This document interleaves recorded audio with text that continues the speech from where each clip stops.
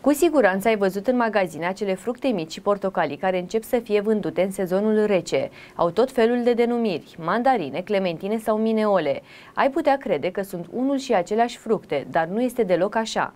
Clementinele și mandarinele sunt diferite, la fel ca și alte soiuri de citrice din acest spectru.